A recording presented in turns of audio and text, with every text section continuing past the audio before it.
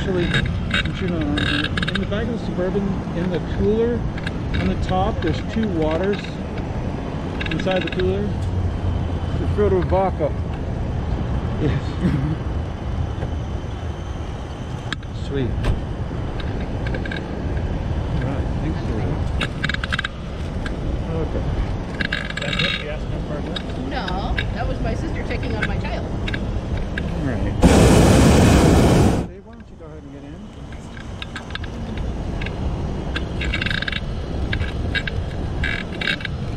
Friends in high places. Right. I'm in.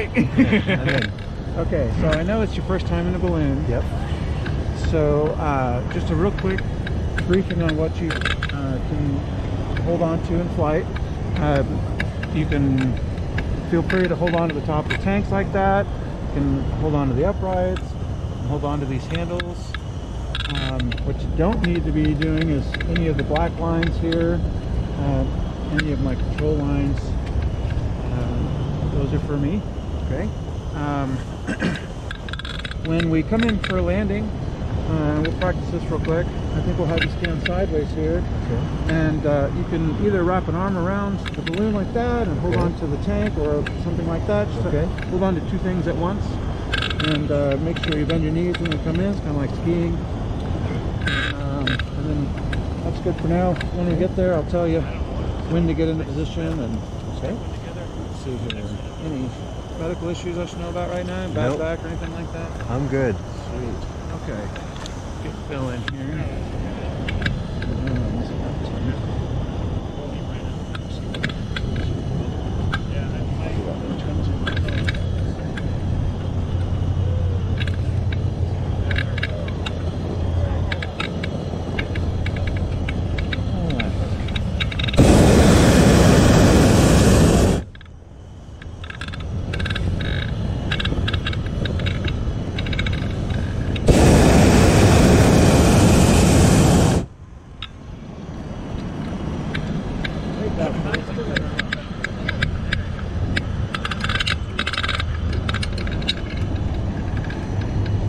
Okay.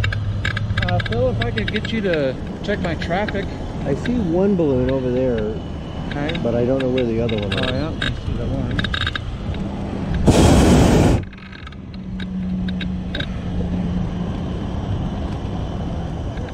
Sweet. All right. So as we leave, Yep. I would like you to practice leaving very, very low. Okay. Um, so rather than going out hot, we got Yeah. a lot of running room. What I'd like to do is just creep out as shallow as you feel comfortable. Okay. Sounds good. All right. do it, baby. What? No, no, baby. Oh, my God. No have friends like this before. Ah.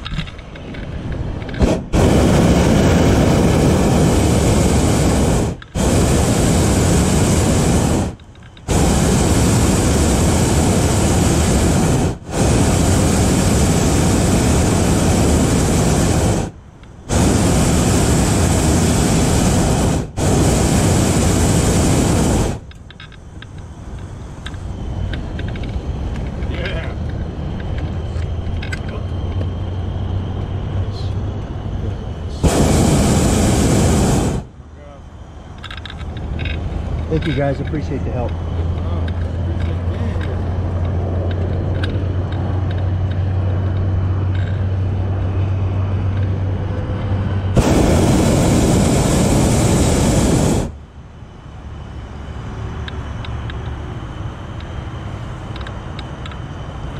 That was impressive.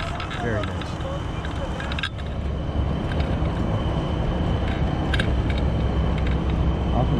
see people coming out of tie-off situations, even in calm ones, and they'll just shoot out. Which in a rally situation is particularly dangerous because you don't really know who's coming over the top of you. Right. But I mean, if I'm being honest, I'm guilty of that, particularly Right. with the tie off.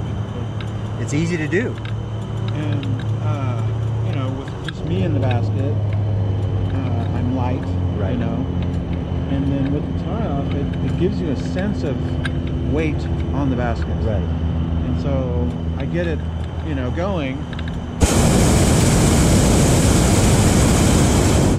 And uh, and I'll think, okay, I'm, I'm ready. And then I actually let the tie off go, and it's like somebody took a whole person out. Right. And then, you know, with just a little bit of breeze, and I'm like wa- watching out for the false lift, and suddenly I'm, you know, Yeah. 400 feet a minute. Exactly.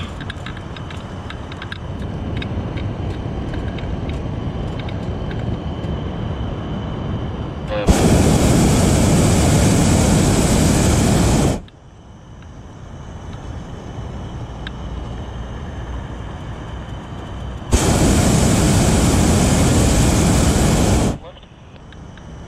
One three one zero four. I'd buy that.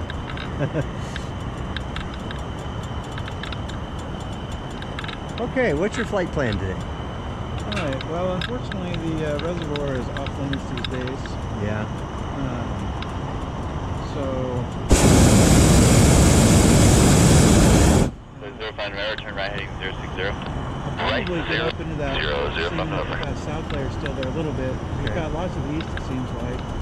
And I'm going to try and shoot for south of foreign trade zone, somewhere in Okay. that area. And do we think how high do you think you have to get to go north? Uh, well, from the pibal, I, I, you know, slowed down. It seemed like um, maybe 1,500, 2,000 feet, somewhere in there. Gotcha. Uh, according to the rocks, I need to get up around 2,000 or more. Get that. Yeah. Um, so why don't you go ahead and call the airport, and then I'm going to actually call them back when you're done and have a chat with them real quick. Uh, and then I'm debating about, since that upper level wind is so calm, I'm debating about today climbing up there and doing a terminal. Okay. What would you think about that? I think that we need to check that Okay. out. Yeah, why don't you call the airport and we'll chat with them and then we'll go from there.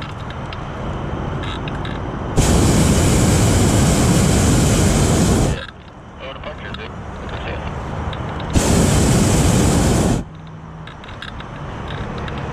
Springs Tower, this is hot air balloon November 74008. Air seven four zero zero eight. Right.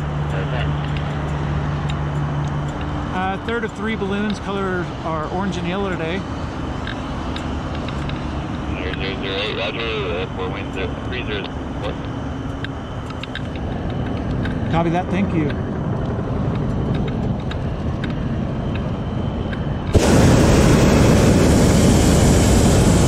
Airplane coming in. Okay.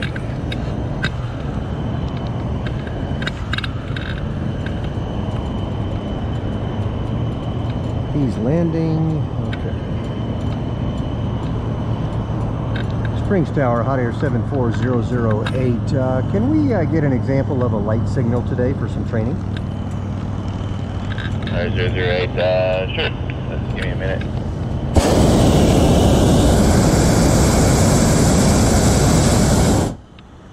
Copy that. Thanks so much. Very rarely do students have an opportunity to actually see a light signal.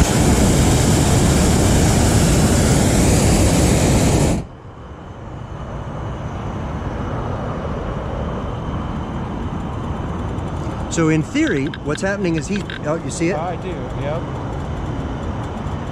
And so you should, it, basically it's him holding a light gun and he's shining it right at us. Right. Springs Tower 74008 saw a white light, thank you.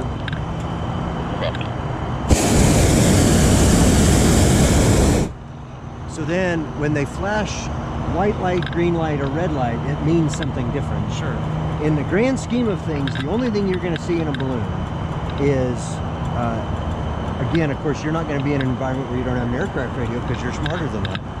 But That's Finland Papa is caution. They could. another hot air they could that end up giving you a red light, which would basically say, just, just get out of here. Um, what's more, what is more likely is that they'll give you a flashing green, red, green, red, green, red, and that basically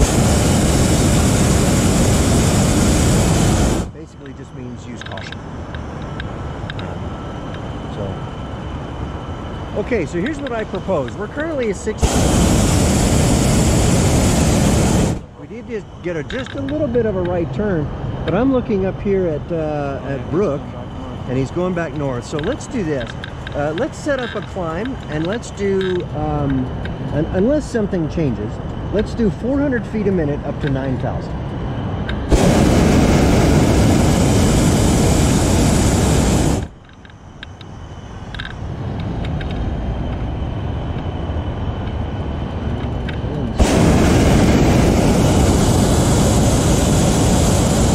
Other than smoke, today's a nice day.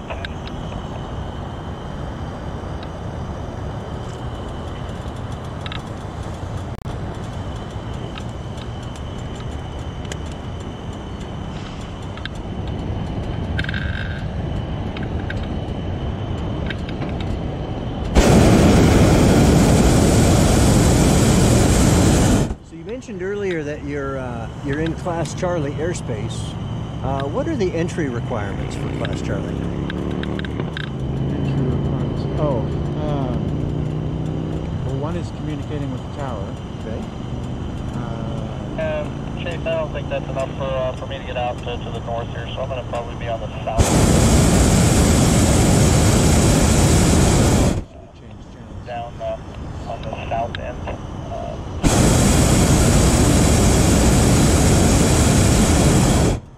south. Roger, you said on the south. Normally, you would south have to have a transponder. Okay, airport. Okay. Roger. To enter Class C. Uh, but we have the waiver, yearly written waiver. Come in on that south.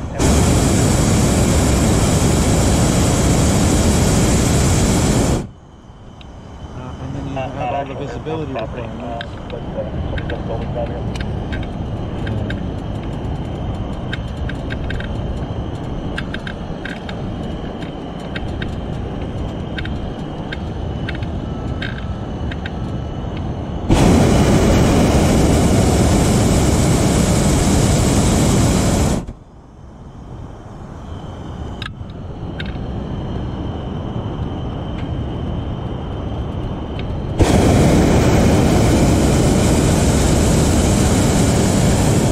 That south layer was thin, wasn't it?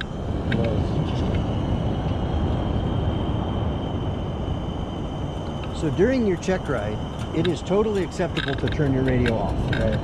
And and I would recommend it. Sure. And then, you know, I think managing the crew via the radio is a valid part of the check ride. It's not in the test standard, so there's no need to demonstrate it. But especially if we go with the assumption you're going to have some some of your friends like Phil or Travis or whomever, um, I would just turn it off. And then if you feel like the flight's going really well and you're coming in for a landing, turn it on and call it. If not, fuck it. Just land and.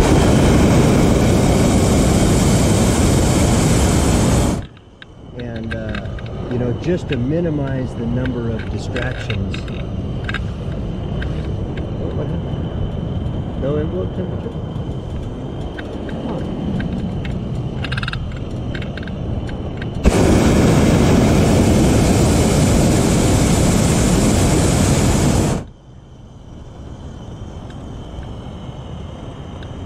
Oh, okay.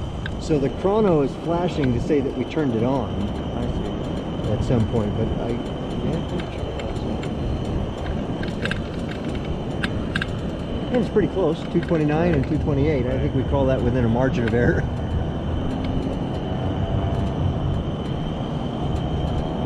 So in part 61, it says that we're supposed to climb to an altitude, have a controlled ascent. Do you remember what that altitude is? I I don't either. I think it's 2,000 feet. Um, today we're going to go well beyond that. So let's keep climbing all the way up to nine.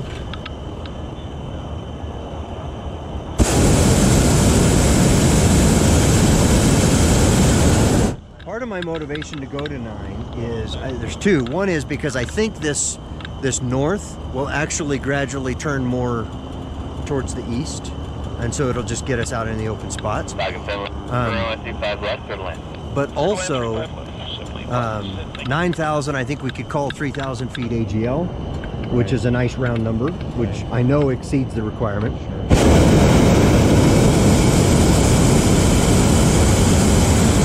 And 3,000 feet is more than enough to experience a terminal. Um,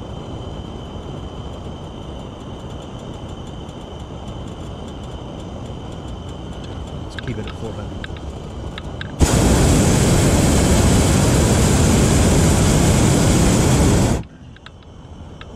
Uh, one of the reasons why I kept slowing down was I was noticing this getting into the 230s and 240s. Okay. So that's the kind of thing. It's a good decision, but say it out loud. You know, hey, I'm I'm going to slow down a little bit. Watch this temperature, see if it stabilizes.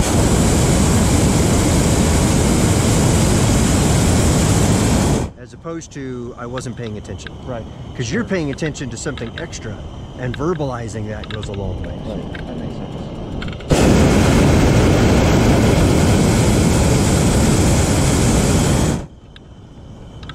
Jack 145 uniform, uh, three there. Short runway 31 Bravo 5 for traffic landing 35 left. Calling short.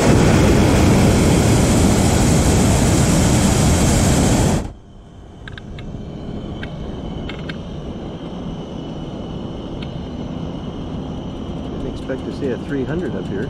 I mean, it's only three knots, but still.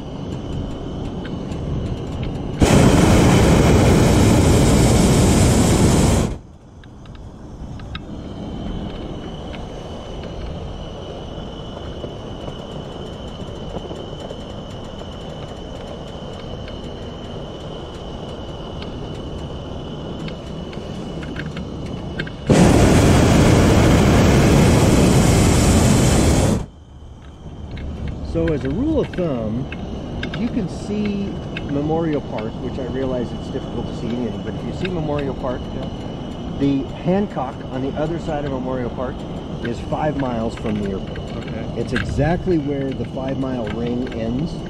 And so if you're in this situation, you say, man, what is our visibility? Well, I can see the park.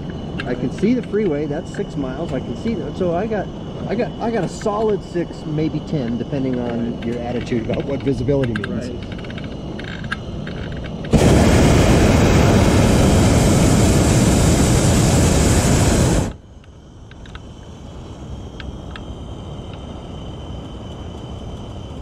So what do you think about this display? I like it. It's really crisp, isn't it? Yes, that's for sure.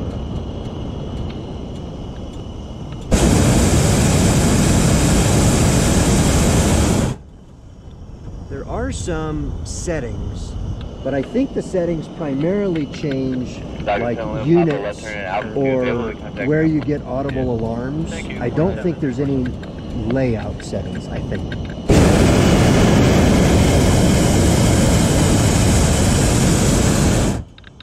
Because I did this when I was in Pagosa. I flew both instruments, 5. compared them. And, Versus your secret 40. right.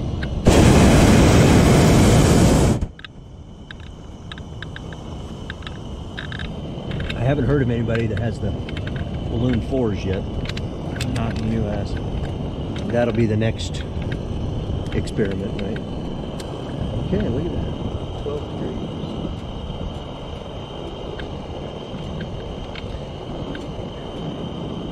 And that's heading, right? Correct. Yeah, so we're currently headed north-northeast at 5 miles. One of the things I talked to Dave is about, about I'd love it if those two numbers were swapped visually. Right. You know, to say 010 at 5 is much more common than 5 at, you know, so.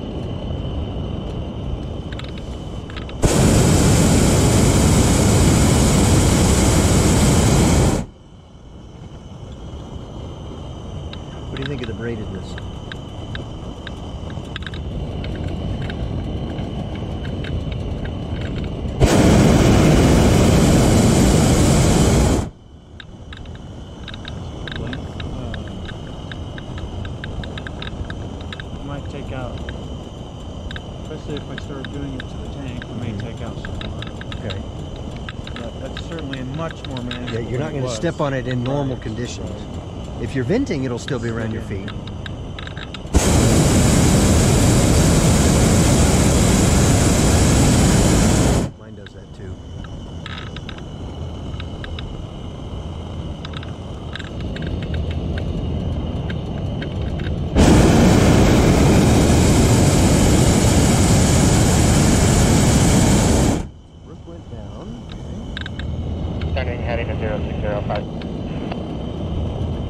That case, did you start decreasing the ascent rate with the thought of leveling out, or did it just sort of did you fall asleep at the wheel?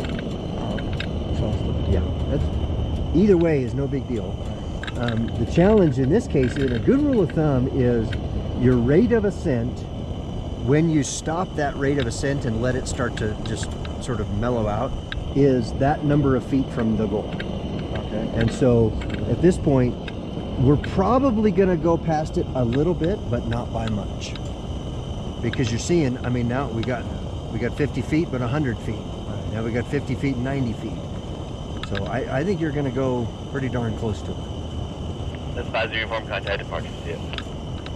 Yeah, fine.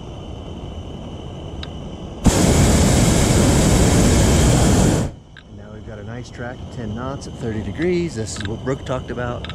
I love that direction. It smells smoky.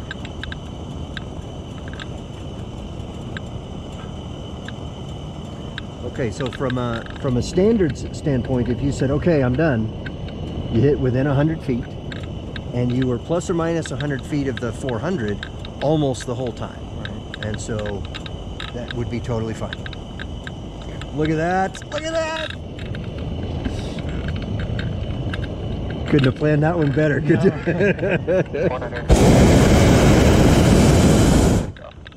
okay, so let's talk about a terminal velocity descent. It's a horrible name, but um, the premise of a terminal in terms of training is to learn two things. One is to is to kind of simulate the experience of your burner going out. Whether you lost a pilot in a wind shear, whether you were running on an empty tank, whether your burn was too.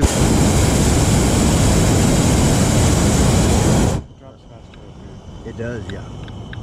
Um, just taste it. Um,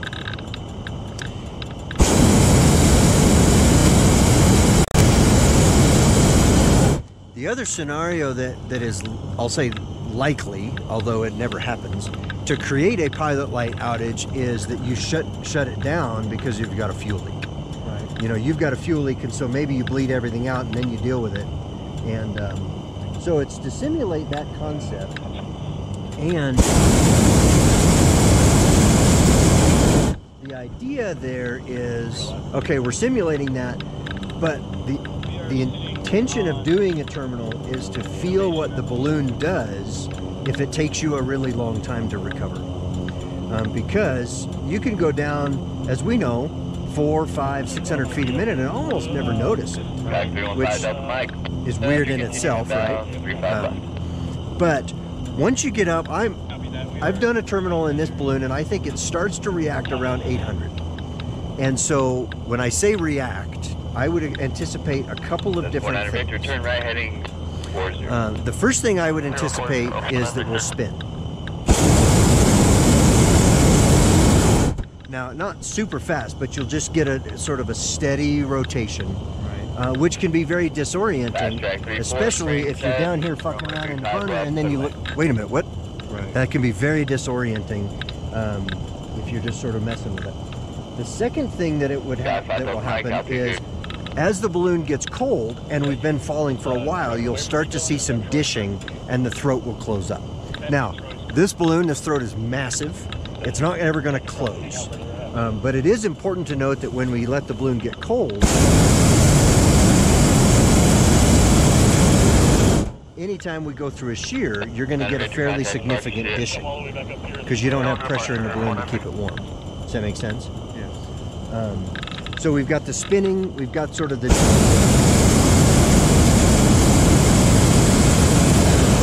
And then you combine those two things and you'll end up with sort of a pendulum, sort of a swing, shake kind of a maneuver.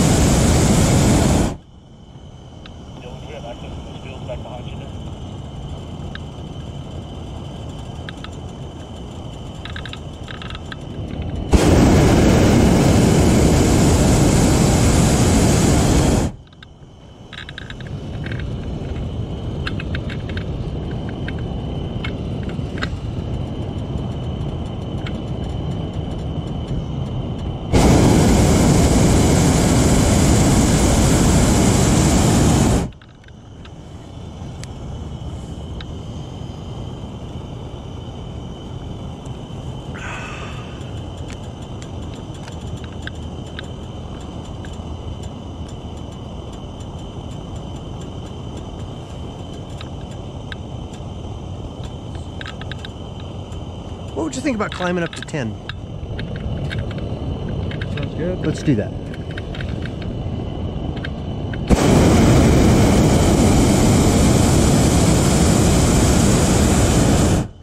Um, I anticipate sort of this 030 to hold. And then what I was thinking about timing and positioning is that if we climb up to 10 and we're still headed this direction, once we get sort of off the base, um, then we can drop down, say, over the golf course, that open space, the neighborhood, and then I think we'll sort of get a a southeast, and that might take us to the Space Village field, could take us to the missing house, um, could be, you know, even in that little triangle field. Could be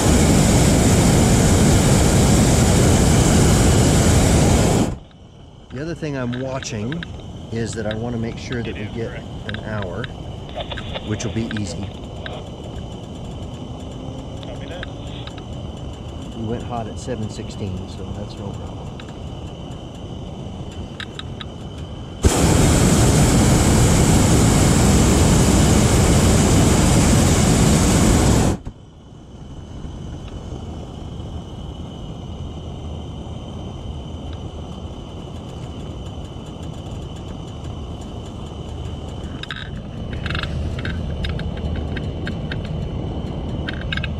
By the way, today is the terminal velocity, I have no intentions of actually shutting off the burners.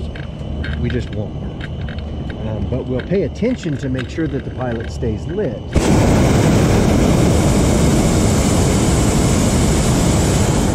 It probably will. I mean, I would say 90% confidence I will. Right.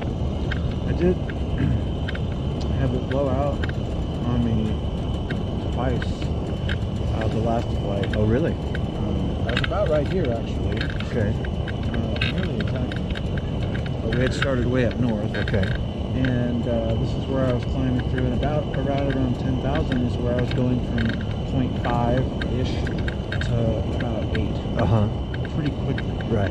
And as I went through that shear, it blew it out. Okay. And I actually didn't notice it the first time until I went. Right. That's usually when you notice Right. it. And because it's really the first time I'd ever experienced that, Mm-hmm. uh, I didn't immediately think pilot is out. Okay. And so the first thing I did was to look around and I was like, well, what's. Okay, no, Do we it's have a leak hissing. somewhere? Yeah, Yeah. And then I was like, oh, right. And so then I clicked it, it came back on, no problem.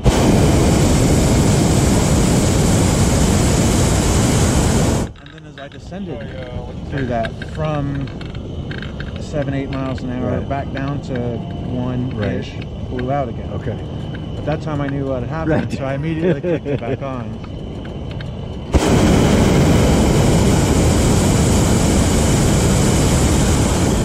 Yeah, and that's why I'll say speed, although, you know, it can take seconds and it doesn't matter. Speed relighting is valuable because by the time you realize it's out, you wanted to burn. Right. And right. uh, right. maybe you really wanted to burn, maybe you just kind of wanted to, but Right. either way, you're not where you wanted to be right then. Right.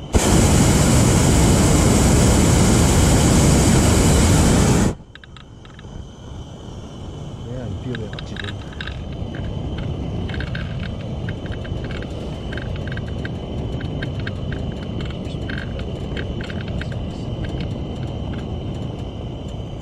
So I'm looking at these two guys here, and they are almost stopped.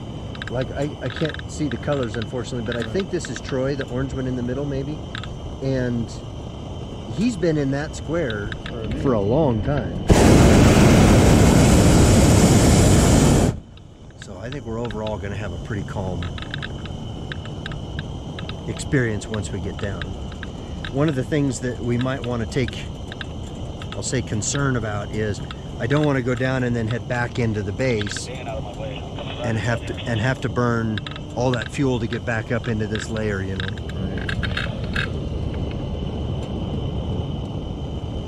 So turn the radio off. Okay.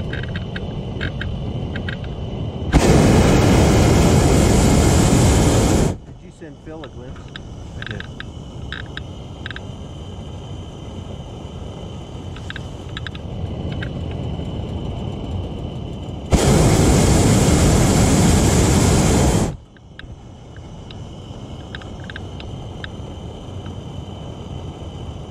How long is this smoke gonna last, Scott?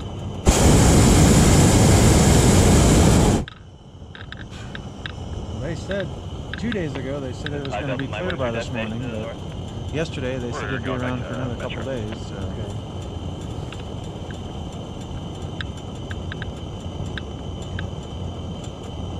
It's not good. Partially just from our experience. Visibility's bad. I don't like the air quality, but but it's really more about how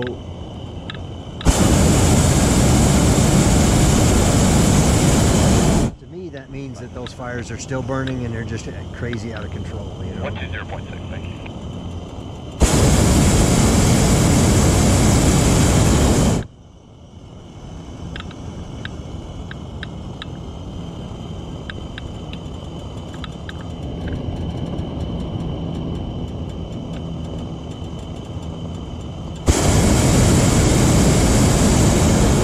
Do you have a copy of the Class C permission letter? Would you not? Let me get it to you. I mean, chances are Barbara would just take our word for it, but Sure. Headed back to Rocky Mountain Metro. certainly no harm in. Oh yeah, I have that right here. Thank you, sorry.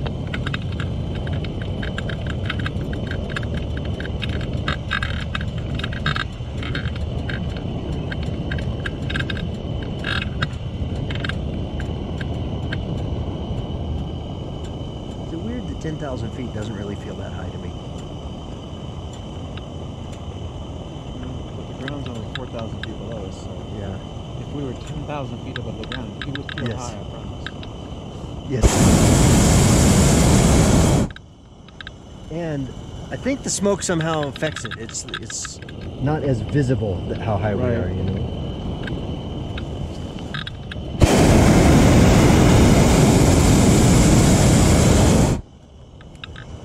I haven't heard an airport wind update recently.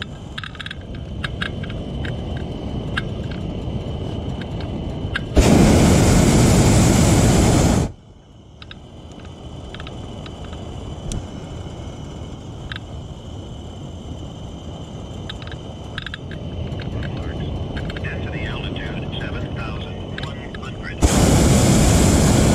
City of Colorado Springs Municipal Airport. Automated weather observation 1354 Zulu. Wind estimated 270 at 06. Visibility 3. Visibility three. Oh, we're right on the line. So that says it's getting worse. Um, let's see, just for posterity, let's go ahead and bump that up so that we actually see 10,000. And we'll say that way we can say that we really did it, right? right?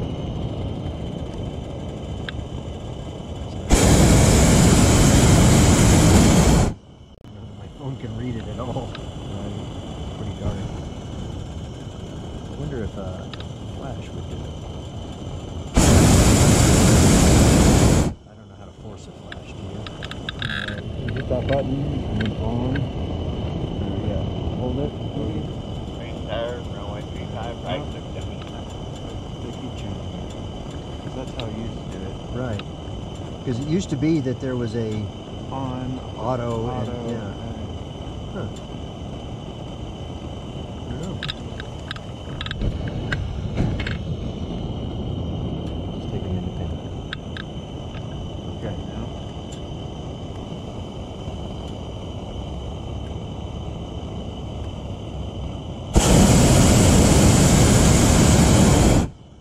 Okay, so when do you suppose we should start our descent?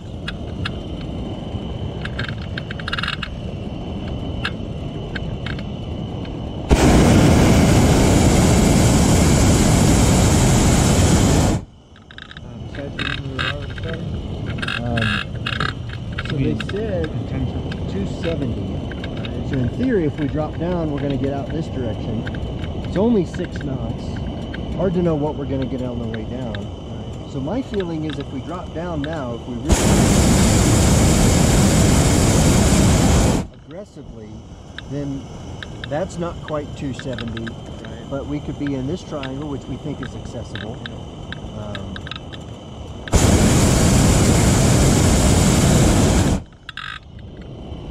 Alternatively, we still got nine knots. We could go up and sort of line up on that that intersection there, whatever that is.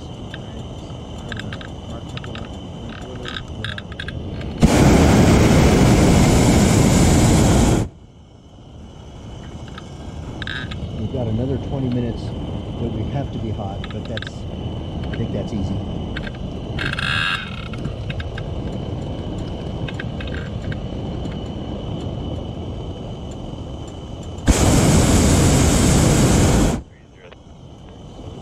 Pretty straight down, which tells me that we're going to keep this path for quite a while.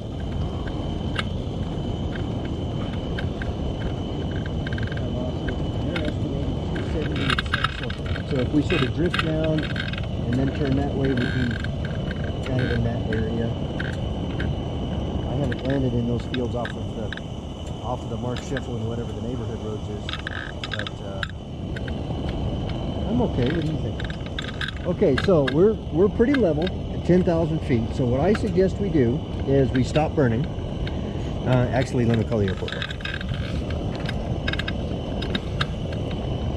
Springs Tower, hot air 74008. Uh, going to descend between the parallels. Hot air, uh, 008, roger that.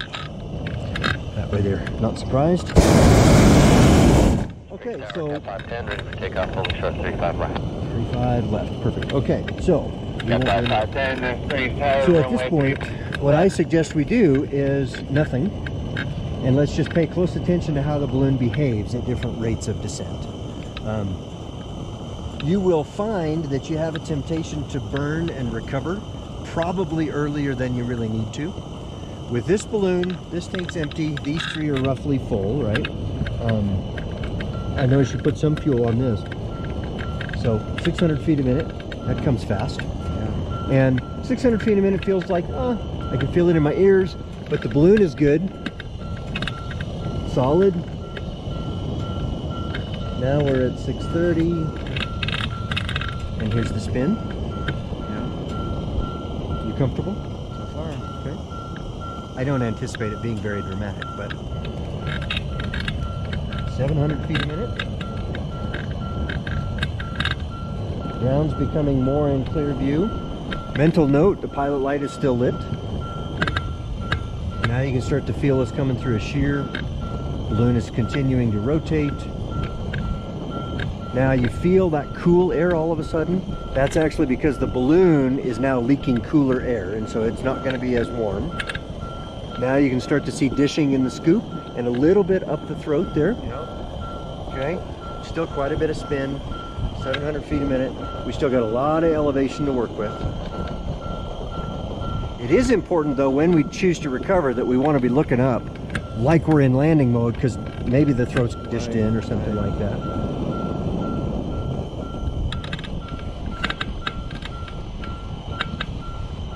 Is disconcerting, isn't it?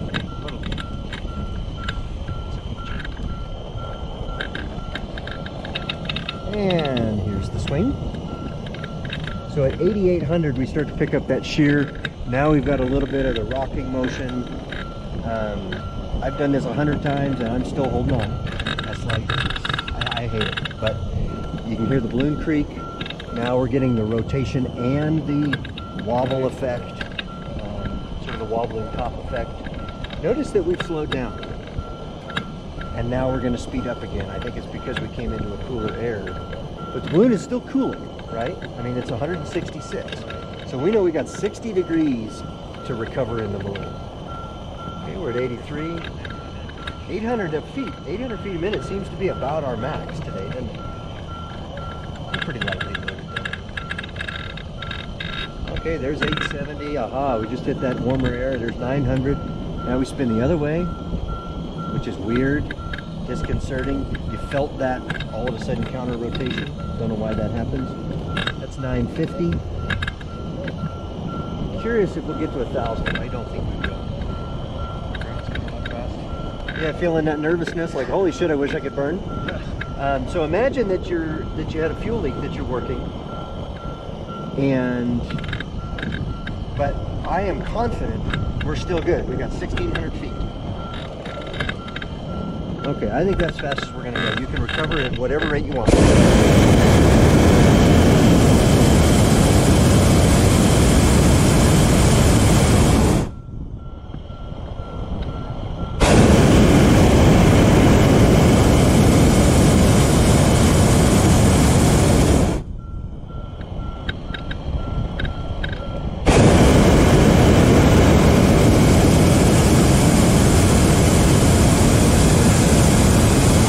It's gonna take everything you got.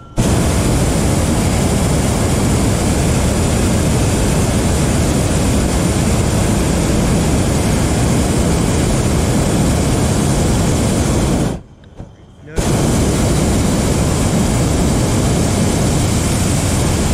Just starting to get some wash out of the burner there.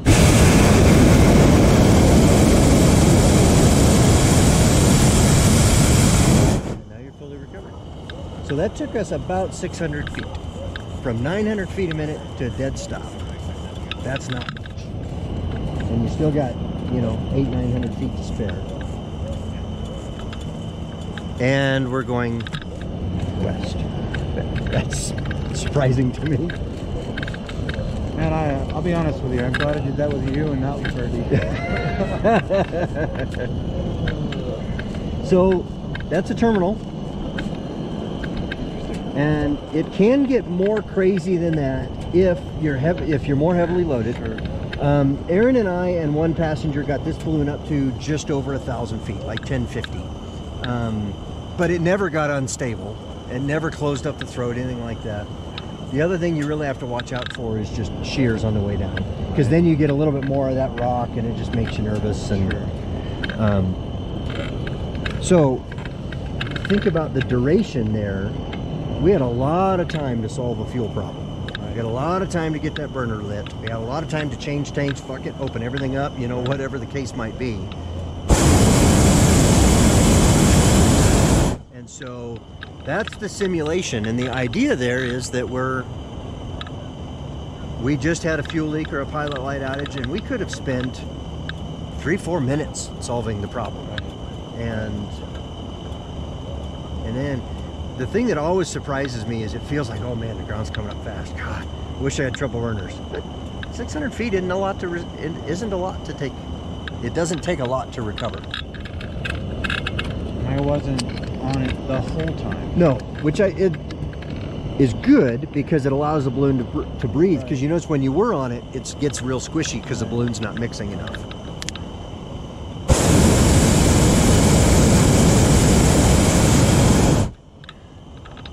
Okay, I can't see the guys anymore. And that says either that it's just so hazy I can't see them, or they're down.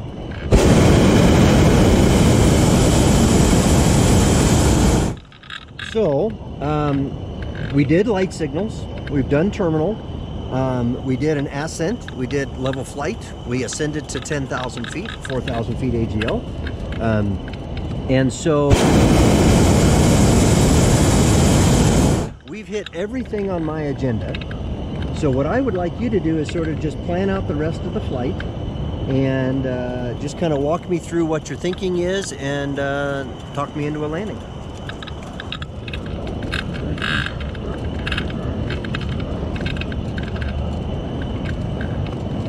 I had really expected there to be south here at this point. I didn't. I expected us to go west based on the airport comment, but I figured the south was dying because those guys were so calm. But I had anticipated as we came down we'd go that way, not this way.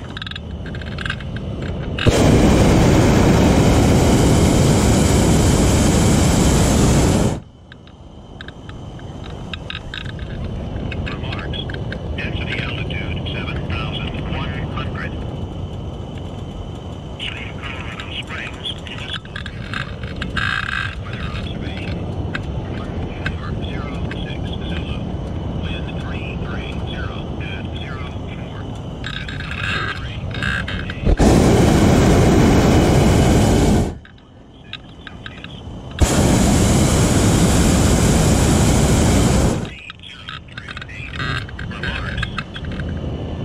So Five zero, Echo Springs Tower, round when I just spit, it sort of curved around this way and Track 41, track But everything's really 5, slow. right, stay, uh, right there, one sec.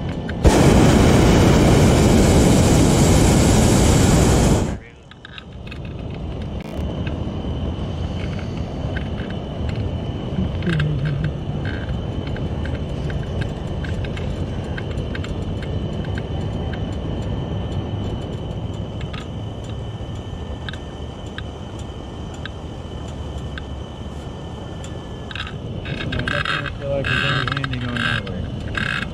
Yeah, because my spit didn't turn around much, and if it did, it was right at the deck.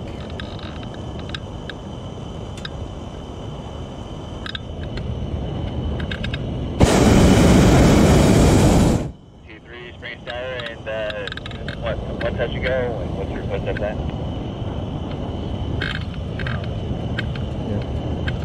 I'll show you 2-3, continue about 35 left. Uh, well, I, I kind of want to go down a little bit lower Okay. and uh, kind of just hold that lower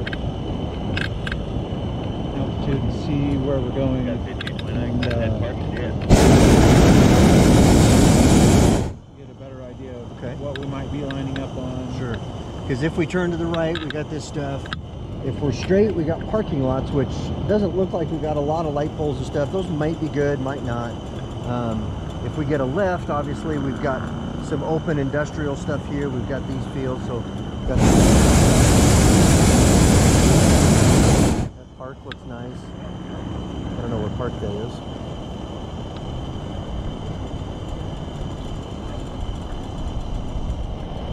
I think on the ground it's going to be very slow.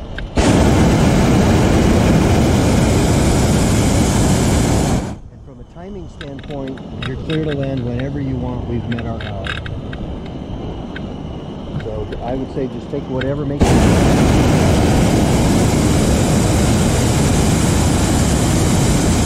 And we got a ton of fuel, so there's no hurry.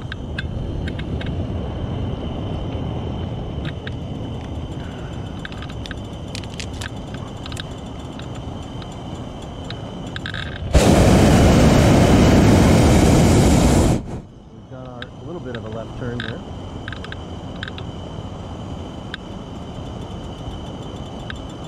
The airport was still saying 3:30. I wonder if it's there. I do see power lines along powers to some extent on both sides, but I'm not confident about this side.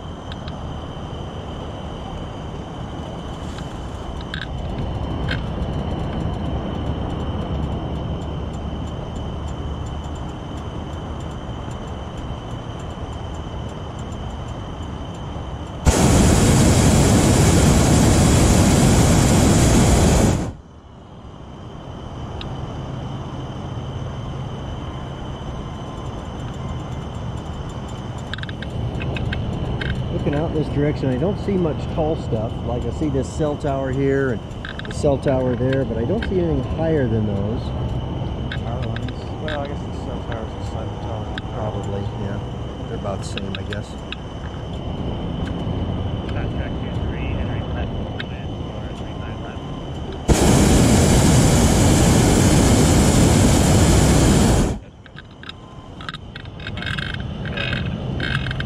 So I see this substation here, so power lines could be coming sort of any direction out of that. Start, runway three five right, good job.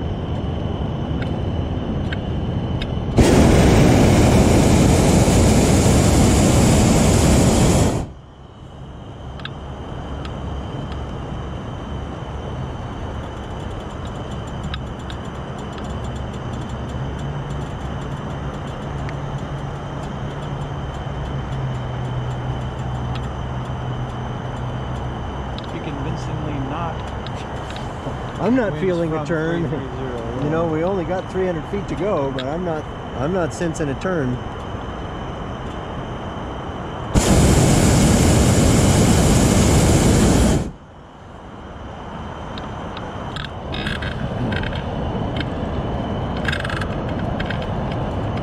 Three five, very good. Everybody else, like, thank you. That's it.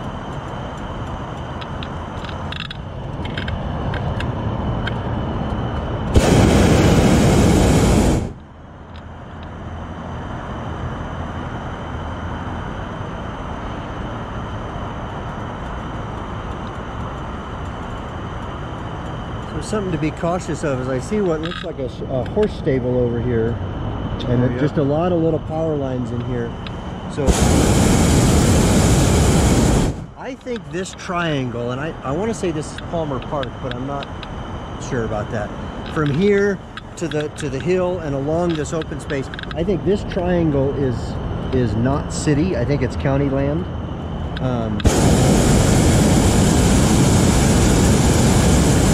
That's Plummer Park right there. With Walmart. Okay. So we're more likely to see larger open fields, but we're also more likely to see small power lines that haven't been underground, horses.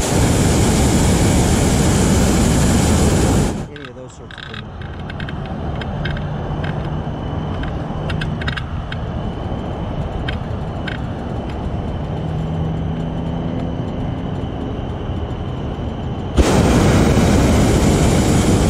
I do like the actual all the way three digit feet per minute versus point. Uh huh. That is nice.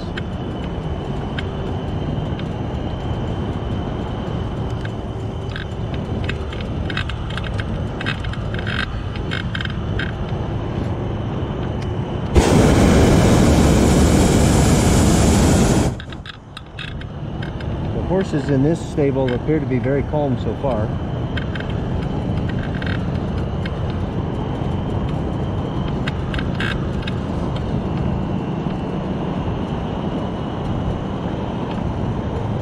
I feel like there's a, a little bit of little turn. Oh yeah, I'd say we're almost there. Yeah, that would take us sort of south, it looks like.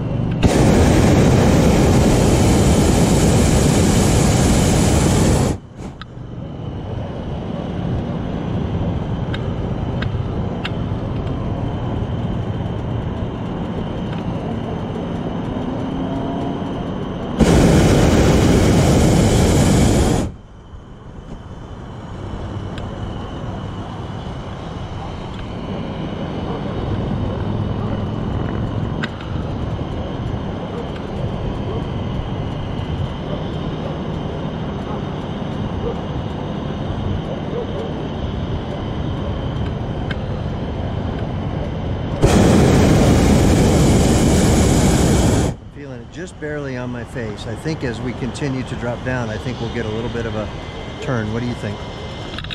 We're into the spit. Yep.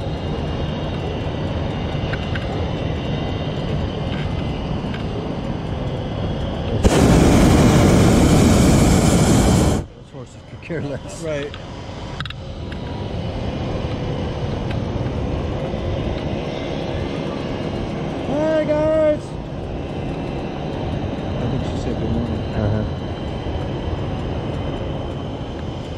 That's fun.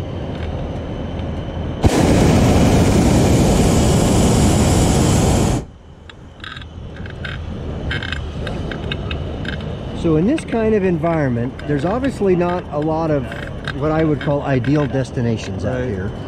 And so typically, I think that as we drop down, I think we'll get a left turn. So I'm generally focusing my view out here, although of course things could change. Sure. Um, and, and in general, my approach when we do that is that I would look for sort of staying right at treetop power line height, and then you'll sort of see it, and as soon as you see it, you take it, kind of a deal. Right. You know, and it might be things like, hey, this, you know, oh, this feels looks good, or we're approaching this road, or you know, and uh, you just kind of have to be ready and then be willing to take it.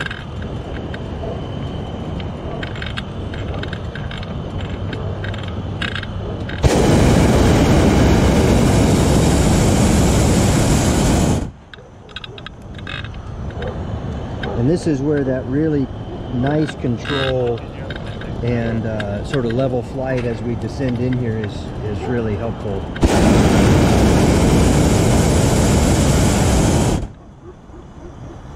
I kind of like this wilderness, wildernessy looking area over here. Um, I think we might get a little bit more left turn than that, maybe even on the Red Barn area. Except the Yeah, I keep feeling that whisper in my face that just feels like, oh, we're we're gonna turn, we're gonna slow down.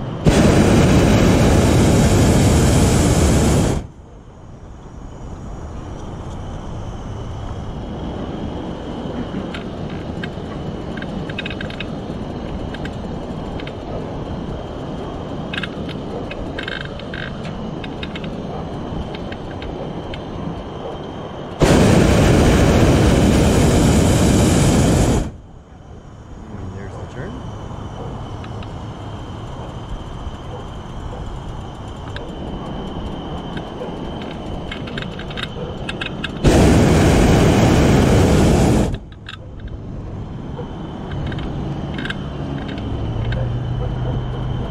It slows down and, then- and all the way to the ground it sort of goes that direction.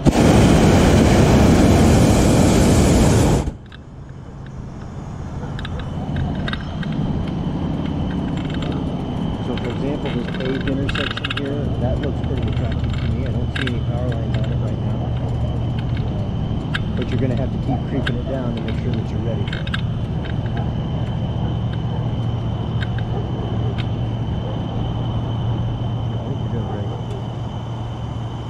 just gotta resist the temptation to overburn and stay too high, because that really makes the landing much more difficult.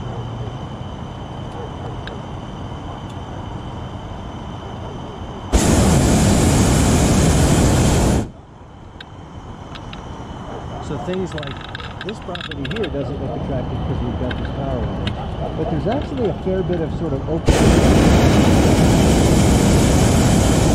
Depending on what direction we're going and things like that. So.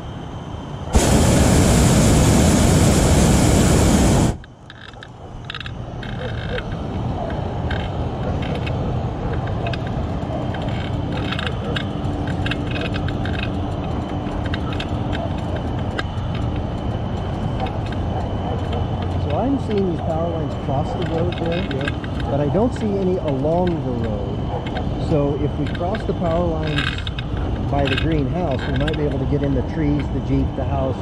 That looks like a pretty open area over there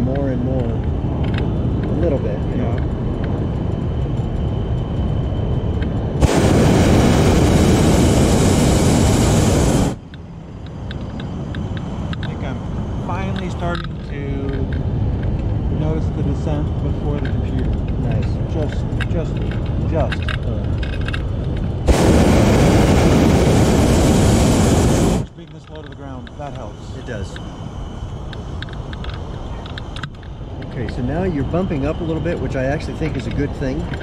Because if we get a little bit of that east that was, let's say it's still there, who knows? Then we get bumped over those lines and can come in a little bit better. Phil's there.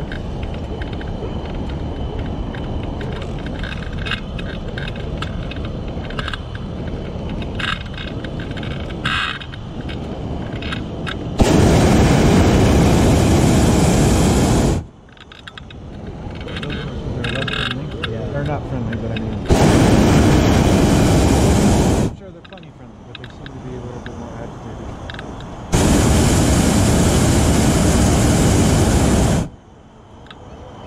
Wind shift here.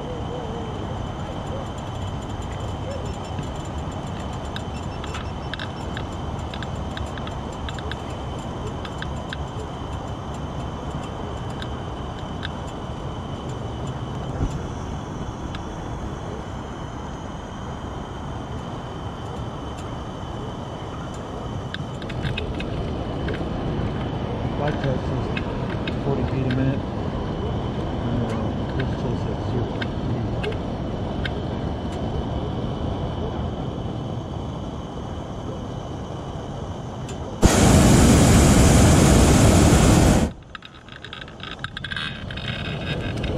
Zero knots.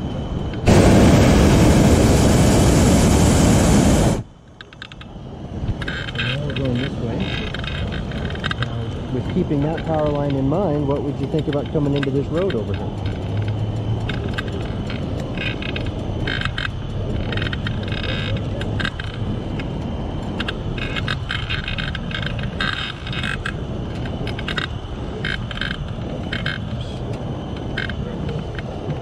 See these power lines to the house?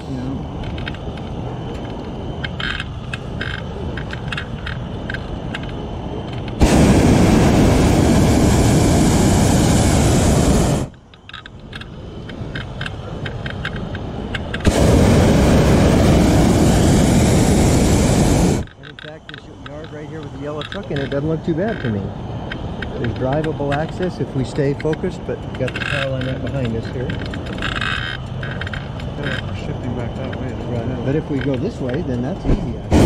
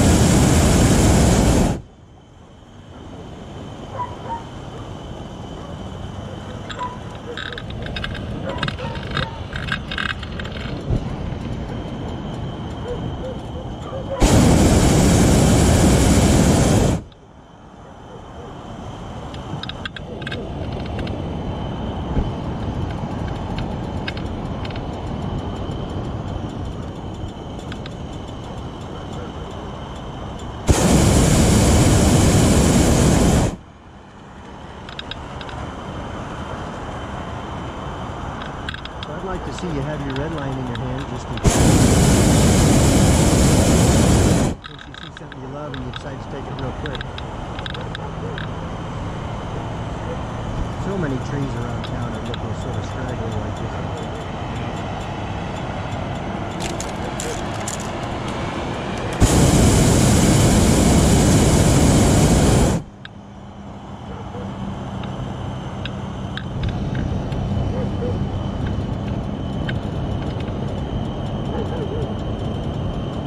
There's that east wind the airport told us was here.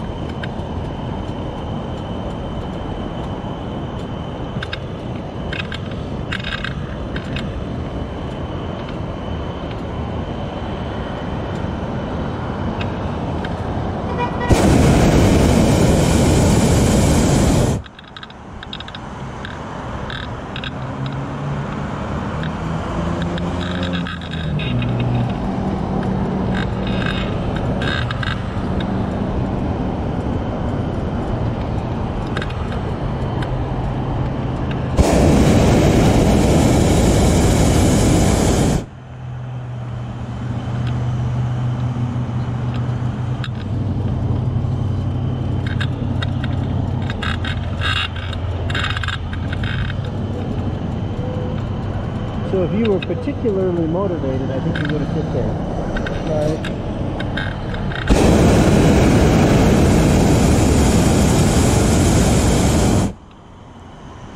Sorry, Phil.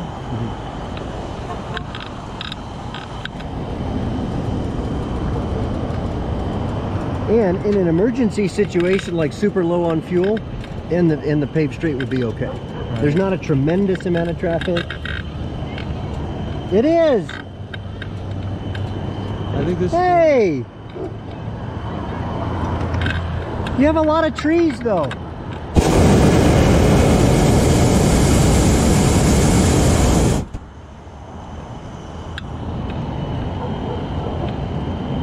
So there's cul-de-sac back here if we get that hard left. Some of these paved streets are pretty big. And we're cruising into more open space. She's a lady from church. Oh yeah. Used to uh, be heavily involved with the uh, high school kids and stuff like that.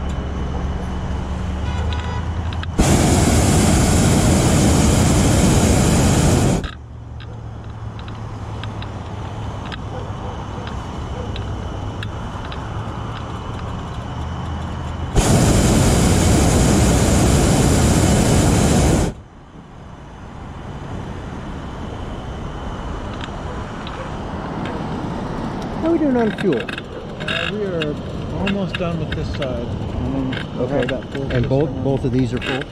Okay. This is pretty much because inflated a little bit off this one. Well, I inflated off this one. Gotcha. And it's just been running quiet.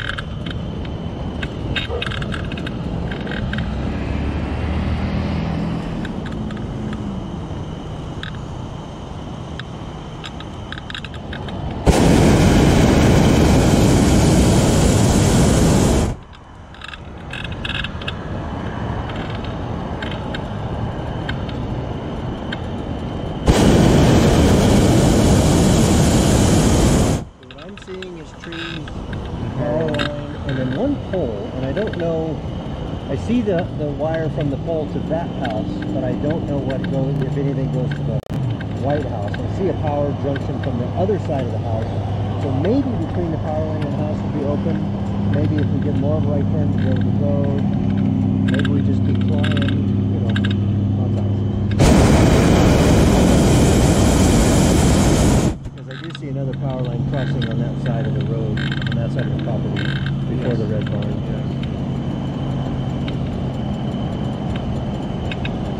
I don't see any power lines on the paved road, however. Where the curl and the pinkers. And if It right, this power line ends at that second pole. Yeah, it looks like that's just down there.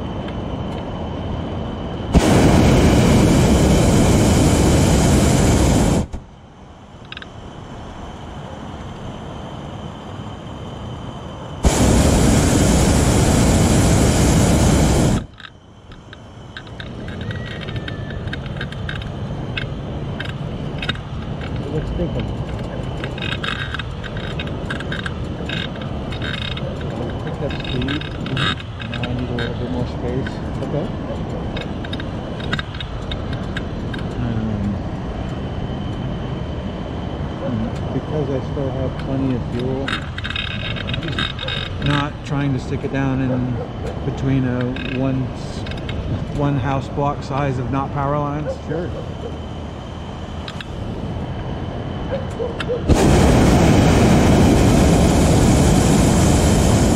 Yeah, and the, the disadvantage of more speed is you need more space, but the advantage is we're going to keep cruising. Yeah. Right.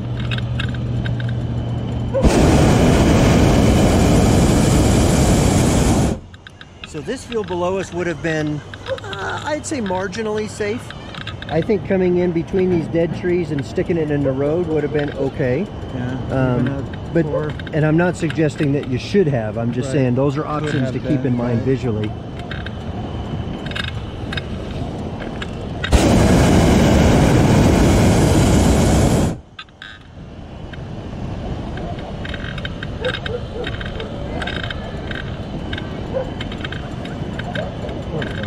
Well, right, so-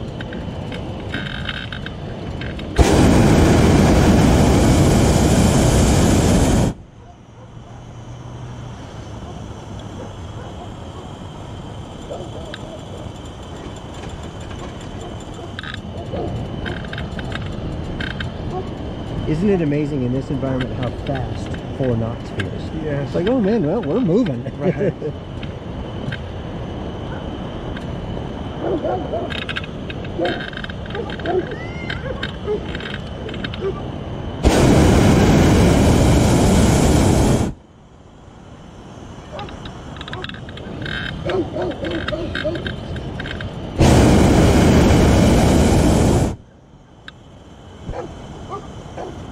I mean, once we get back to the main road there, there's a lot more uh, space on the other side of that. Yeah. Kind of what I'm leaning toward. Okay. And these horses are super calm, so. Hey, Phil. I was just gonna say we're probably gonna cruise out to the the road here. I Speed don't- chasers to do a sunrise. We're probably going to head back out toward uh, whatever the main road is there, Powers or Academy or two Powers. Copy that. Um, so, I'd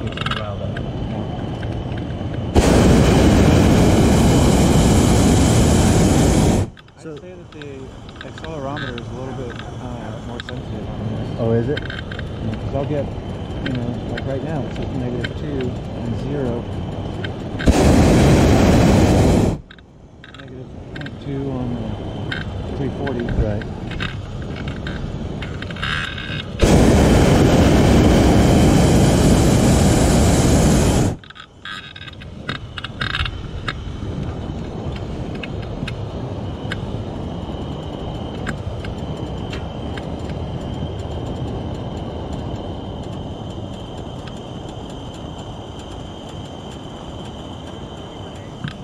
Yeah. oh, great. What did he say? Better than Labor Day. I'll take that. Yeah. You bet.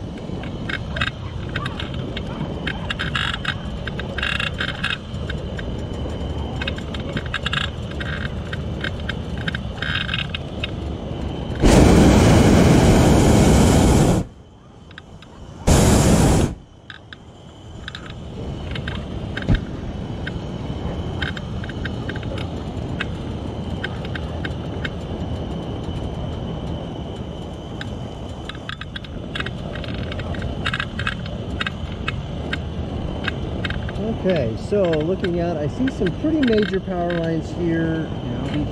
Four powers, I think it's on this side.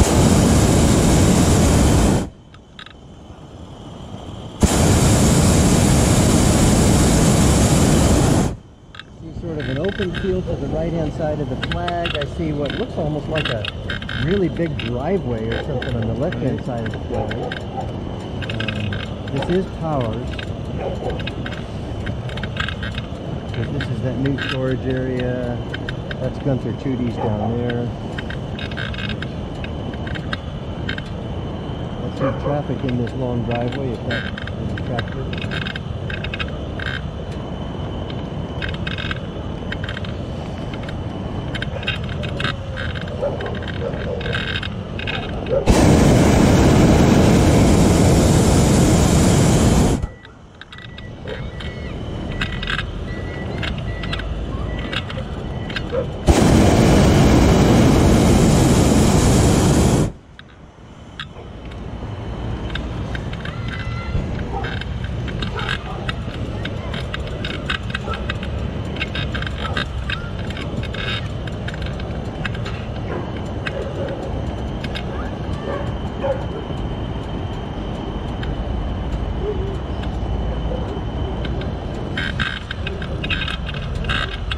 Perpetually backwards basket, right? Yeah.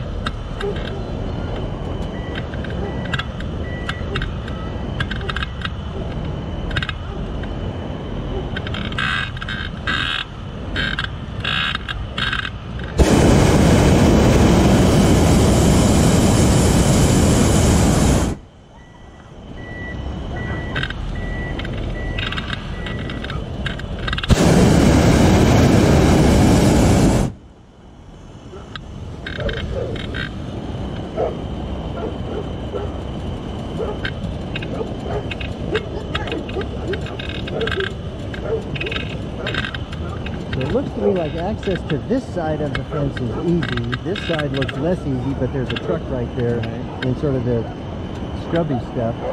And if we continue this direction, that road over there on the leading edge of the golf course, I think is good. Yep. Uh, I don't think they want us on the golf course. And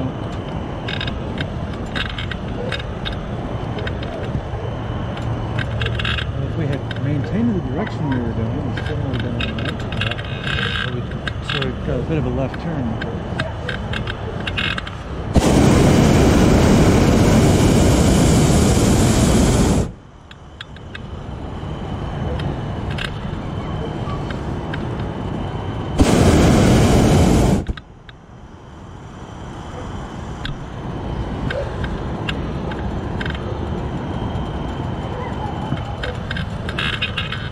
Hard to figure out which way to focus here.